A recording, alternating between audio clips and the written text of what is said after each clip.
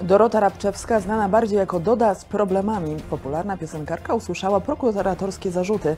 Zatrzymany został też jej były mąż. Piosenkarce postawiono zarzut z artykułu 300 kodeksu karnego. Jest podejrzana o pomocnictwo w przestępstwie, mówiącym o udaremnieniu zaspokojenia wierzycieli. Zarzuty mają związek z produkowanym we współpracy z byłym mężem filmem Dziewczyny z Dubaju.